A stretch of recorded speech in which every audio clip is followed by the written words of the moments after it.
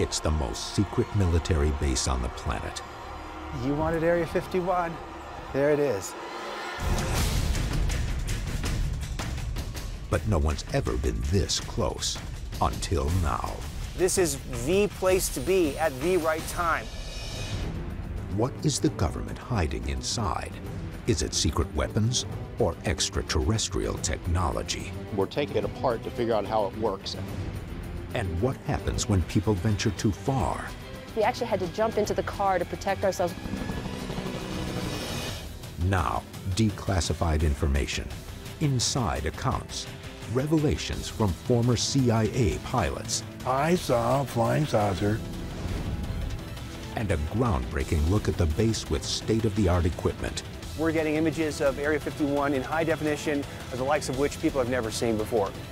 This is case number 55101, Area 51 revealed. It's huge.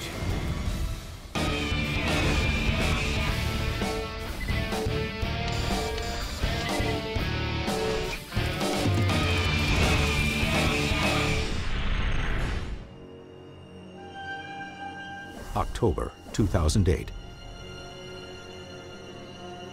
Pat Uskert is in the remote Nevada desert, 15 miles from Area 51. Is that them? It's definitely them. What are they doing? They're watching us. There's two guys in there. You want to see? You see? see, there are two guys actually in Yes. the vehicle? Did their lights just turn on? Yes, it did. August 1955. The same Nevada desert. On a desolate dry lake bed, a plane unlike any seen before blasts into the air. This test of the U-2 spy plane ushers in the modern age of top secret aircraft.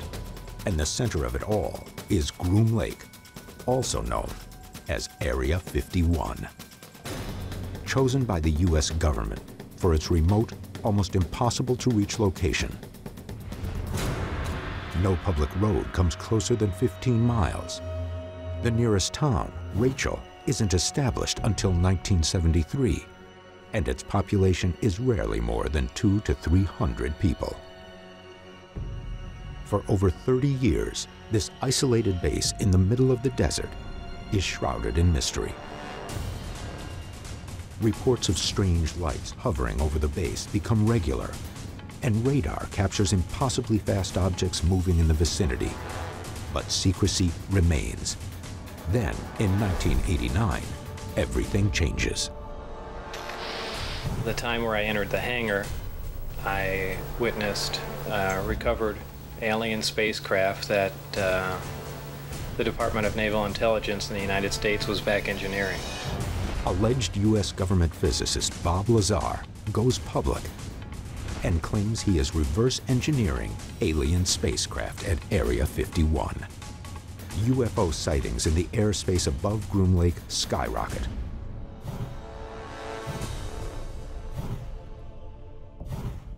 But the base remains closed off. An outer perimeter of at least 15 miles prevents anyone from seeing the installation. People who try to cross the perimeter are chased off, face arrest, and are warned that deadly force for trespassers is authorized. But now, using new high-definition cameras, there may be a way in. We're only a few miles away from the beating heart central of Area 51. It's almost a nation unto itself with its own staff, uh, personnel, its own resources. Programs are actually ongoing today with, with new vehicles that we don't even know about yet. Today, the U.S. government has not officially acknowledged the existence of a base called Area 51, let alone admitted to extraterrestrial experimentation. The investigation now comes to the remote desert of Nevada for answers. Dr. Ted Acworth will explore the official military history of the base. There has been a progression of the most advanced, the most clandestine vehicles developed here over the last 40 years. Bill Birnes will look into the allegations of reverse engineering. The more we get into this story, the bigger and the deeper it gets. And Pat Uskert will attempt to see the base itself. Here's a chance to have a look into one of the most secret places in the world.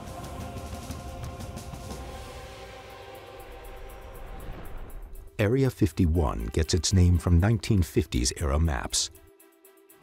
They show the Nevada test site complex divided into a grid with a different number assigned for each separate quadrant.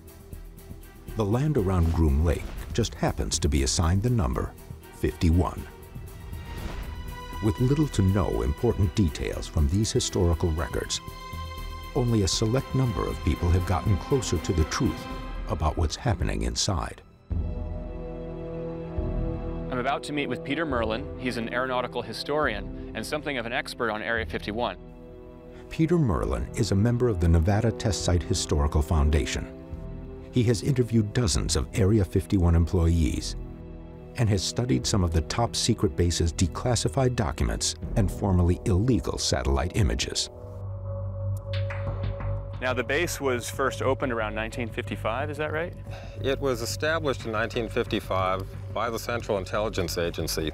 The U-2 spy plane was highly classified and they needed a place to test it outside of the public eye.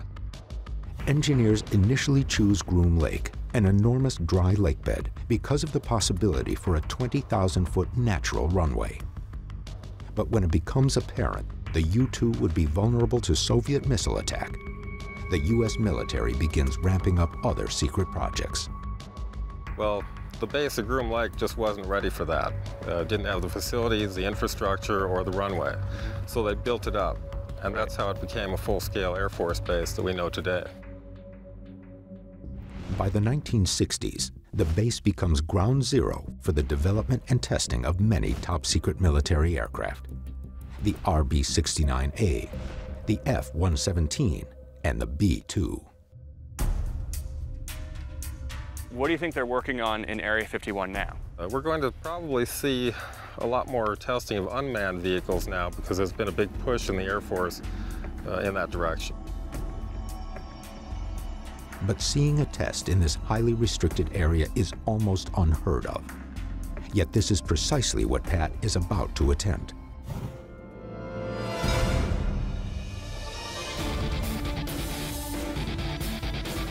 Pat is meeting with Mark Farmer, an aerial combat cameraman and Area 51 expert.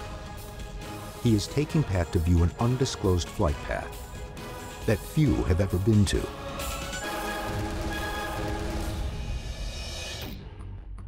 We're about 20 miles to the north of Area 51. This whole place is contaminated with plutonium. Uh, they had done a weapons dispersal test where they blew up a nuclear weapon. So are we in a plutonium-enriched area right now? There's plutonium around. Okay, great. According to Farmer, many years have passed since the last weapons test. But this area has become a prime location for something else, observing flight tests. Wait, I hear something right now. Sounds like we got something coming in. In the distance, an F-15 moves through the skies over Area 51. Not long after, it's joined by another.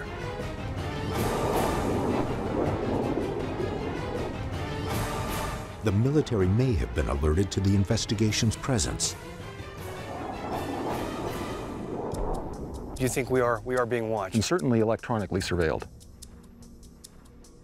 An unknown number of sensors that collect visual and audio data are scattered all across this area of the desert. How would they be monitoring us? School of techniques called electronic support measures, which basically are sucking up just electromagnetic emanations. And we have wireless microphones on right now. Uh, we have cell phones, we have walkie-talkies. Uh, we've been blasting out all sorts of stuff, so it's very easy for them to pick up. The F-15s make a couple of passes, but soon disappear from sight. No further activity takes place. With the base most likely aware of their presence, Mark and Pat realize they're not going to see any further flights. It's their job to keep that place secret, so of course they're going to do what they got to do.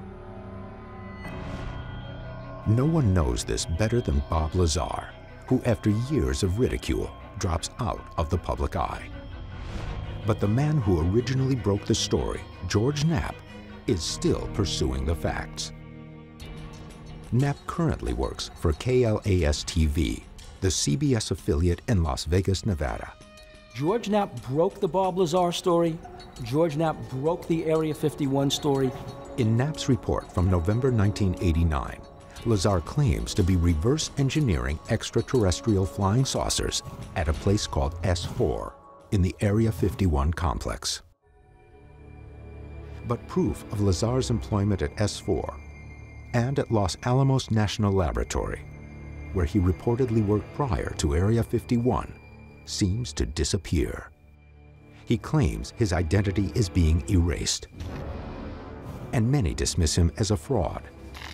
But Knapp finds something shocking in the Los Alamos lab records. We called the lab. They said, no, he wasn't here. We don't have any record of him. And then we found the lab phone book with his name in it. I called him back. I said, well, there it is. Ah, well, we still don't have any records. Was the government trying to hide that Lazar had ever been working at Area 51?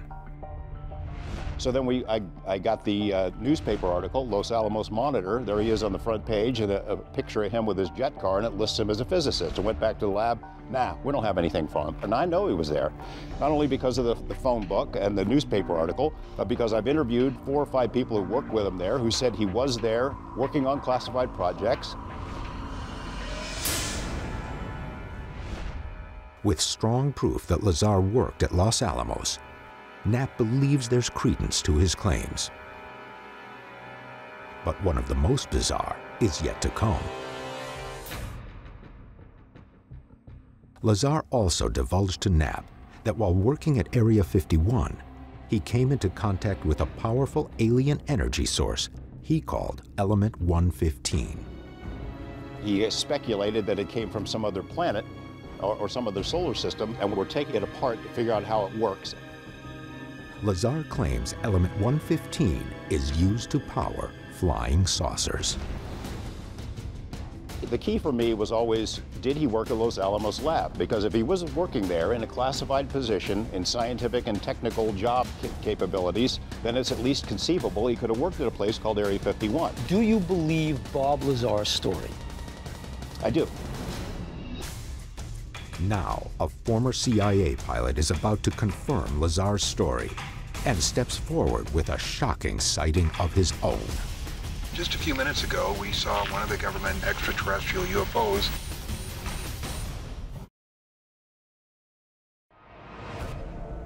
In 1989, alleged government physicist Bob Lazar tells the world he's been reverse engineering extraterrestrial flying saucers at Area 51. Lazar also claims the flying saucers he worked on are powered by a strange alien energy source called Element 115. But the secrecy surrounding the base keeps anyone from verifying these claims. Stories of elite security forces keeping the curious away begin to surface. And Pat is about to see just how intimidating these defenses really are. I'm about to meet with author Susan Wright, who wrote a book about Area 51. Now, she had a very scary experience just outside the perimeter of Area 51. Pat and Susan are driving 125 miles north from Las Vegas. They're now at the intersection of Highway 375 and a dirt road that leads directly into the base at Groom Lake. So what road are we on? This is the Groom Lake Road, and this actually goes to the front entrance of Area 51. The last time Susan was at the perimeter was in 1997. It was an experience she won't soon forget.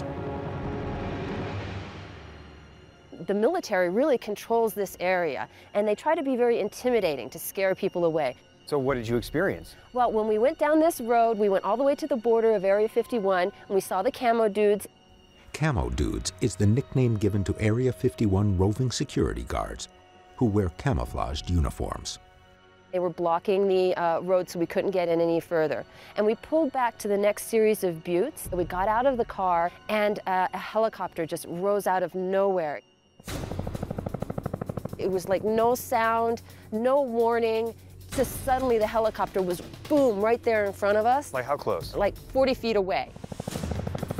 We actually had to jump into the car to protect ourselves. It's very frightening, it's very intimidating, and obviously that's what they meant to do. They wanted to scare us away from the area.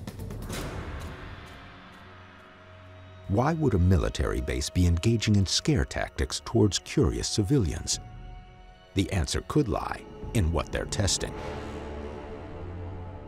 As Susan and Pat continue driving toward Area 51, Bill is uncovering new information about the purported function of Element 115 from a man who Bob Lazar confided in. His name is John Lear. John's father invented the Learjet. John himself is an accomplished pilot. He worked for the CIA, he had a very high security clearance. Lear retired with more than 19,000 hours of flight time. He holds the most FAA airman certificates ever earned by a single pilot.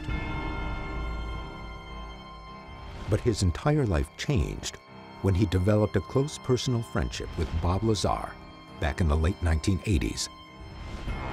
According to Lear, Lazar used to take him on late-night excursions to the outskirts of Area 51 to watch flying saucer tests. You saw a flying saucer at Area no 51. doubt about it. I saw a flying saucer. It was radiating yellow and gold.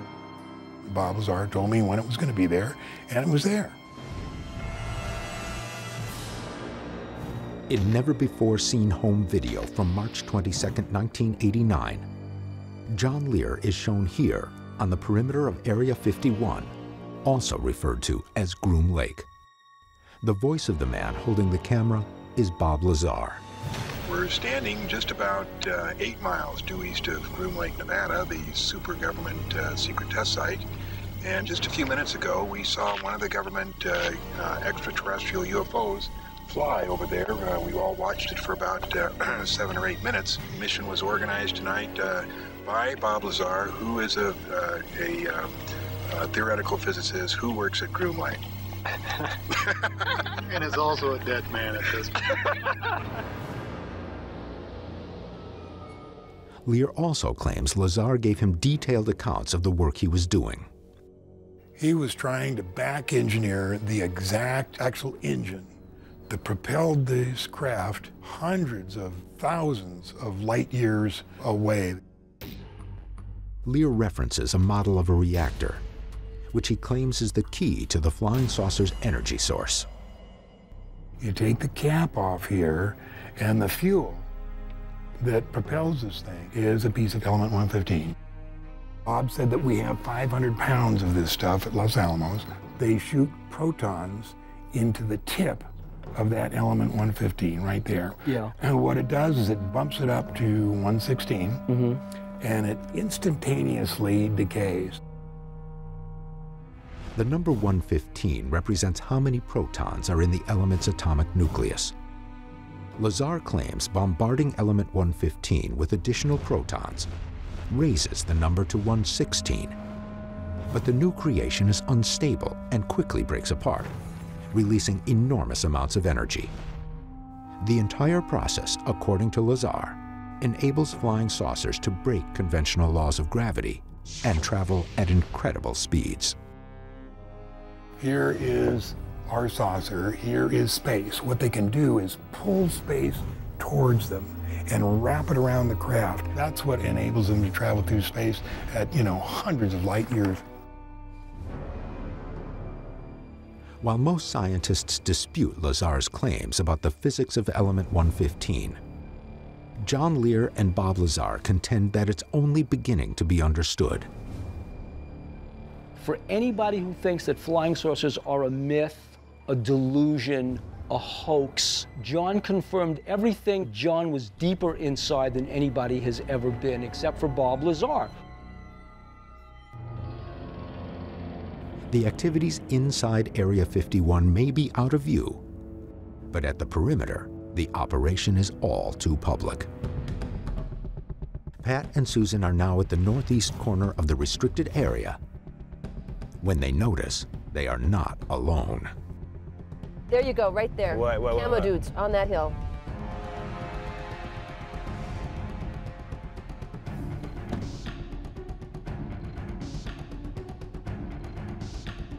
Is that them?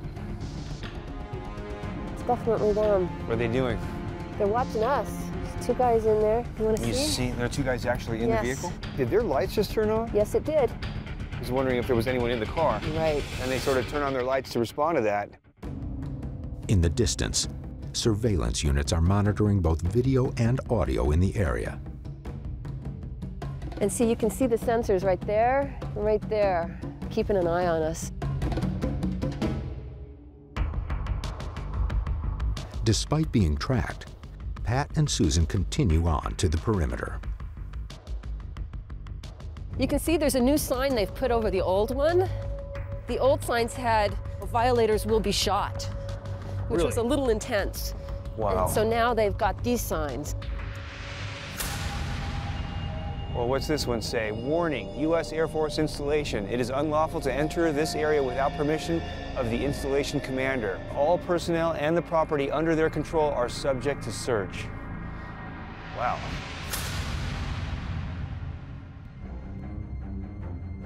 As Pat and Susan begin walking along the orange posts outlining the border, security always maintains a constant line of sight. Well, they reposition themselves so they can see better exactly what we're doing. They want to see where we're going to go and what exactly we're going to do. They're watching us right now. Yeah, they probably have binoculars trained on us right now. I'd like to get out of here. Okay. Wanna go? We can go.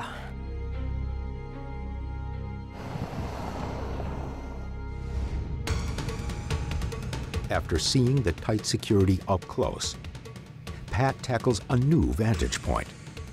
But this one involves a treacherous hike up a steep 8,000 foot peak that will finally reveal Area 51. We're getting images of Area 51 in high definition, the likes of which people have never seen before.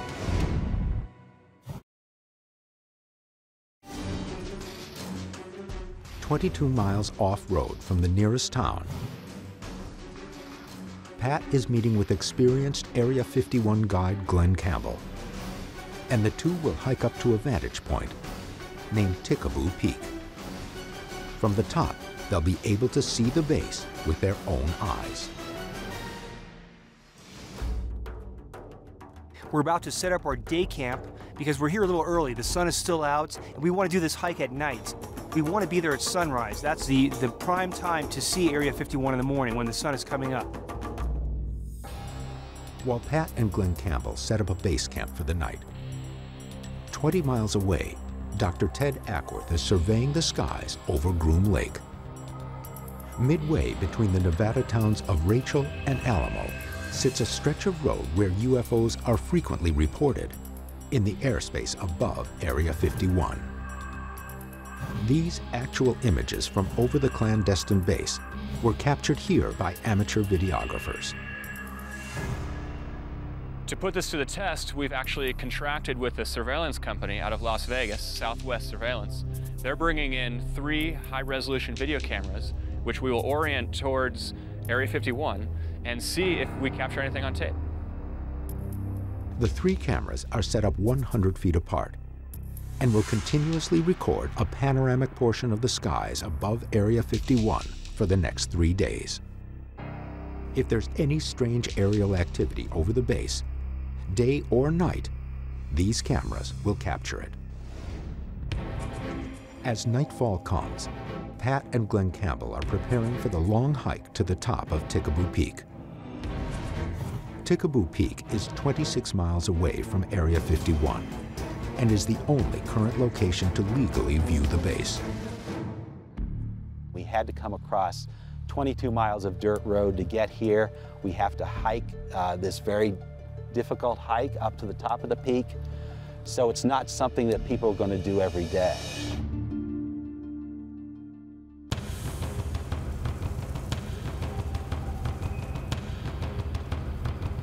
It's half past midnight. I'm here at the base of Tikaboo Peak at about uh, 6,900 feet.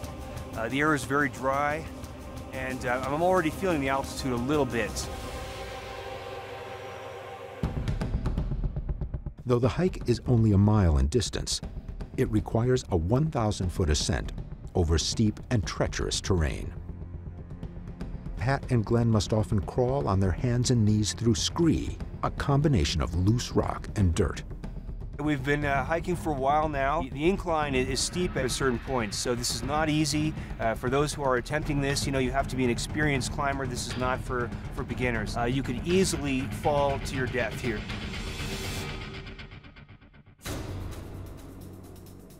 The night hike takes Pat and Glenn nearly three hours. Are we almost there? We're just about there. Over the next ridge here. As they cross the ridge, the most elusive base in the world comes into view. You wanted Area 51. There it is.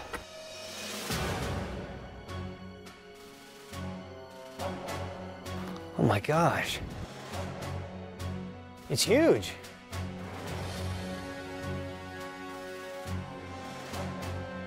The base is still 26 miles away, but the stillness of the Nevada desert air and the lack of humidity gives a clear view. As the sun comes up, we'll begin to see more detail, but each of those uh, lights generally corresponds to a hangar. Uh, it's a pretty spread out area. The base itself is several miles long. Now, what, what, exactly is seven miles long? The lights we're, we're looking at there, or, or well, it all, all, all depends upon how you measure it. The, the, actual block of land that we know of as Area 51 is about 10 miles by 6 miles. Uh, so that, that block isn't terribly big, but it's surrounded by all this buffer of military land. So it's really a vast area. This, this whole military complex is about the size of the state of Connecticut and the state of Rhode Island combined. So it's huge. As the sun begins to rise, these close-up, high-definition views of the most secret base in U.S. history are a television first.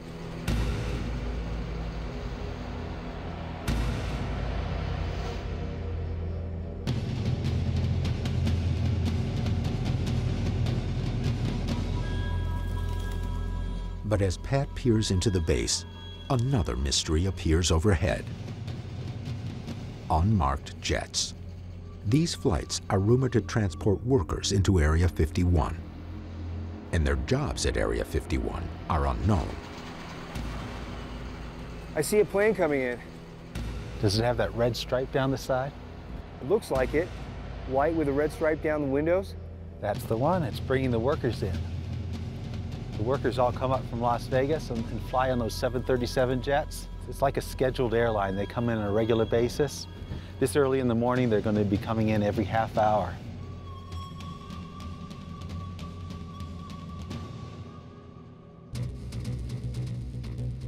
But the light of daybreak is now giving extremely clear views.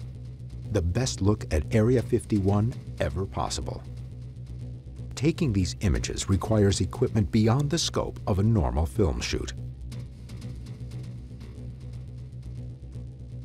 As you can see, we have a very special camera here. Your normal average camera has a 50 millimeter lens, but we've acquired a camera here that has a lens that's 1140 millimeters, allowing us to get unprecedented images of Area 51. This camera is high definition, and Glenn Campbell tells me that there's never been a camera up here of this quality and of this magnification. So we're getting images of Area 51 in high definition, the likes of which people have never seen before.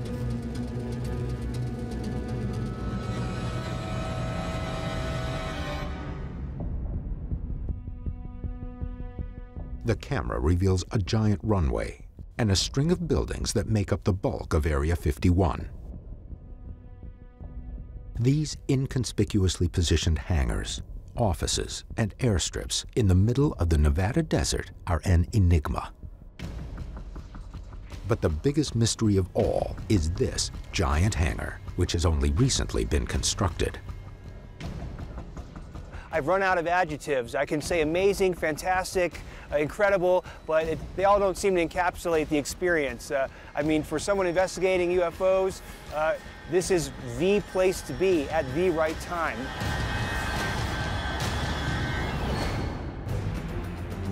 What is happening inside the massive hangar, clearly visible from the top of Tikaboo Peak?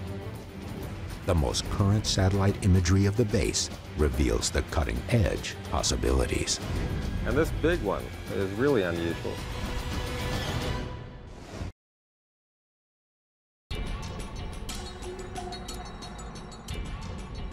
Ted turns to the most current satellite imagery of the base with aeronautical historian Peter Merlin. This is the most recent picture we have taken by a satellite of Area 51. It looks like a really really high quality photo. Today, Area 51 consists of 24 hangars, four runways, numerous dormitories, a radar tower, and even an explosion-proof building. But it didn't start out this expansive. This is how it looked in the 1950s, when it was called Watertown Airstrip.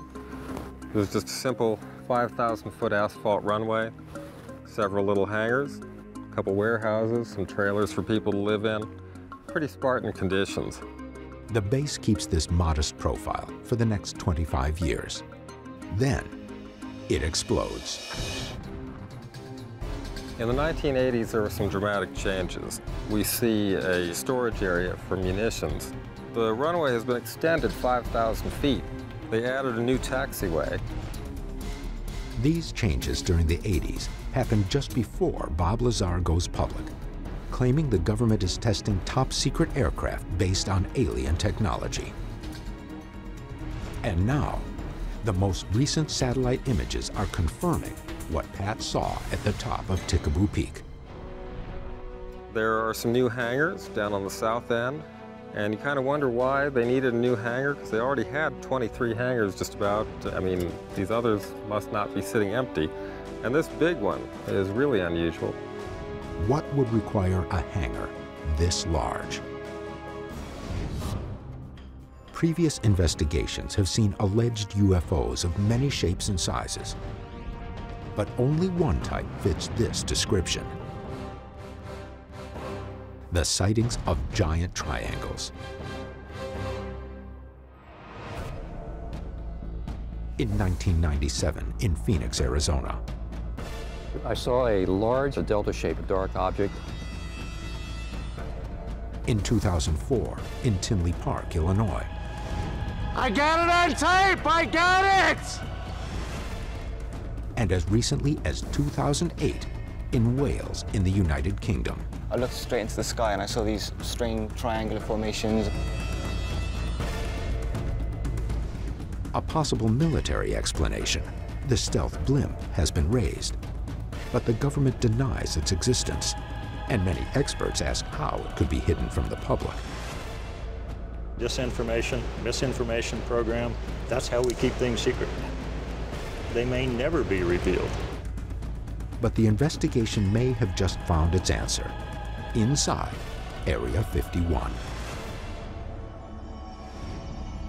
Is this hangar proof of an emerging top-secret technology responsible for UFO sightings over the past decade?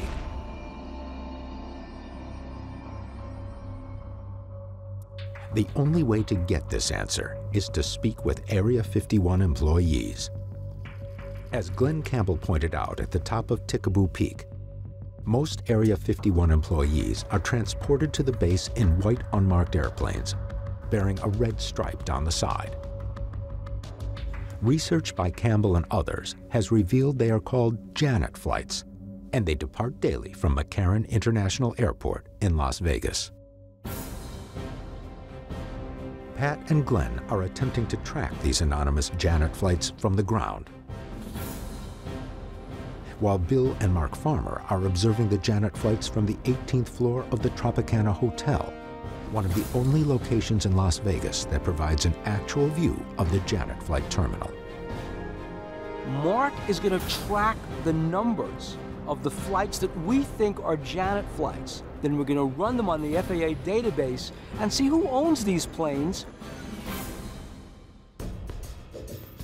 Circling the perimeter of McCarran International Airport, Pat and Glenn search for a line of sight. Now, what does JANET actually stand for? There's various acronyms. That could, it could be Joint Army Navy Transport is one possible acronym, but no one knows for sure what JANET means. It's just a call sign. These actual tower tapes from McCarran Airport confirm the use of the Janet call sign. Las Vegas Purge Janet 721. Purge Janet 210 15. So these are the same jets we saw from Tikaboo Peak. The same ones, they left Las Vegas 20 minutes before, and then they're up at Area 51. So this is their daily commute. We're seeing the planes take off here, they land in Area 51. Every secret base has to have some connections to the outside world, and this is a major connection right here. Back in the hotel, Bill and Mark are tracking departing Janet flights and noting each plane's tail number.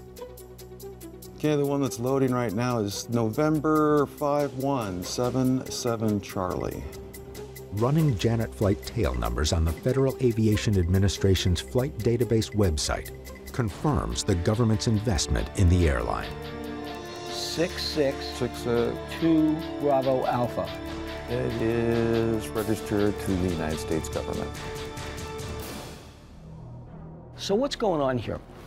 You were just driving around the airport and you looked over there, you wouldn't think anything of this facility. If you look a little closer, you see the barbed wire, you see the guard shack, you see that there's no markings on the building. It's hiding in plain sight is what it is.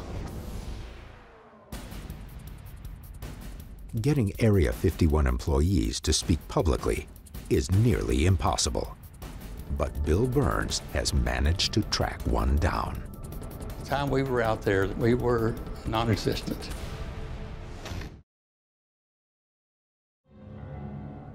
I'm meeting with T.D. Barnes, a former engineer at Area 51. T.D. Barnes is employed at Area 51 from 1968 to 1972 as an electrical engineer. He's crucial in the development of numerous top-secret aircraft that have since been declassified, like the A-12 and the F-117. According to him, the true identity of each and every Area 51 engineer is kept secret while working at the base. We did have pseudo names, I had code names. So the time we were out there, there's no really record. We were non-existent. Barnes's description may help validate the claims of Bob Lazar, who was never able to produce any form of proof he was ever employed at Area 51. And according to Barnes, security was so tight, individual engineers weren't allowed access to projects other than their own. There was times when something would be going on outdoors that none of us needed to see. And we would go to the mess hall and they'd pull blackout curtains and we'd sit there for three hours. If any strange technology was being tested, if you weren't a part of the program, you didn't see it. What do you know about UFOs and reverse engineering taking place? None of us ever knew of any of that going on. I'm not saying it didn't happen. So it might have been feasible for some kind of reverse engineering project to be going on there, is that of course you wouldn't know about. Wouldn't know about it. And you know, anything like that would be possible. The possibility exists that they could have been flying some extraterrestrial spacecraft over the base. Everybody's huddled in the mess hall. All the shades are drawn. You'd never see it. That's how compartmentalized and secret life was at Area 51. But are Lazar's claims of UFO test flights true? On the outskirts of Area 51, the three high-resolution surveillance cameras Ted set up are capturing some unexplained aerial phenomenon. The cameras were recording continuously for three days. And now, Ted and image analyst Terrence Masson are taking a closer look at the footage. On the first night, at 10.39 p.m., this strange light is seen appearing in the middle of the night sky over Area 51 and descending quickly behind the mountains. For it to be that bright, I don't think it's lighting. I think it's got to be some sort of propulsion system or jet. Can we overlay the daylight shot that has the terrain and the mountains with the nighttime shot? Terrence combines the two images and is surprised by what he finds. We can crossfade between the two of these and we can see that as this thing approaches the horizon, just before it blinks out, it's actually a good bit above the horizon line, above the mountain line. So it's not getting cut off exactly uh, as it falls behind the, the, the ridge line. Whatever was captured on camera seems to be blinking off. where it ends up there is pretty close to the beginning of the approach for the runway to Area 51. Right. Well, let's see if we can get an estimate of the speed of that. Ted uses the known distance between the camera and Area 51, about 15 miles, as well as the height and distance to the mountains in the foreground, to estimate the speed of the object. How much distance on the frame is the object falling compared to the height of the mountain range? It's roughly about twice the relative height of the mountain range off the ground. If it's dropping over Area 51, we're seeing it travel about 10,000 feet in about 2.2 seconds. That's about 3,600 miles per hour. That's pretty fast. That's pretty fast. 3,600 miles per hour. This is faster than any of our aircraft. If it's further away than that, if it's beyond Area 51, say 20 or 30 more miles away, it's going at extremely high speeds that would only be consistent with a meteorite. This wouldn't be consistent, in my experience, with a meteorite, with this kind of visual data, right? Because it Way would be too going way too slow. Yeah. You just everybody's seen shooting stars, meteorites. It would It's fill just that whole frame a in street a right across fraction of a frame. second. The only manned aircraft to travel at speeds of this magnitude was the X-15, which was able to break speeds over 4,500 miles per hour. But that aircraft's final flight was October 24, 1968. No publicly known aircraft has reported speeds like that since. It stumps us. So we're kind of left with a mystery. Something descended at high speed down into Area 51, and we're just not sure what it is.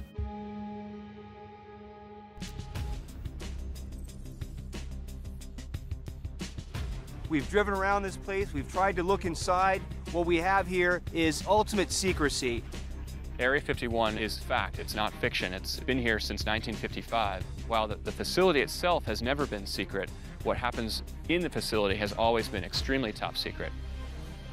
After everything else is eliminated, what is the big secret of Area 51? Are the saucers still out there in those mountains? What are they hiding? What's there?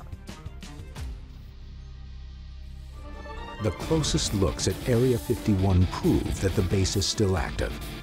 And with massive hangars, impossibly fast objects, and recent sightings of large triangles all across the globe, Area 51 may be the source of a worldwide UFO phenomenon.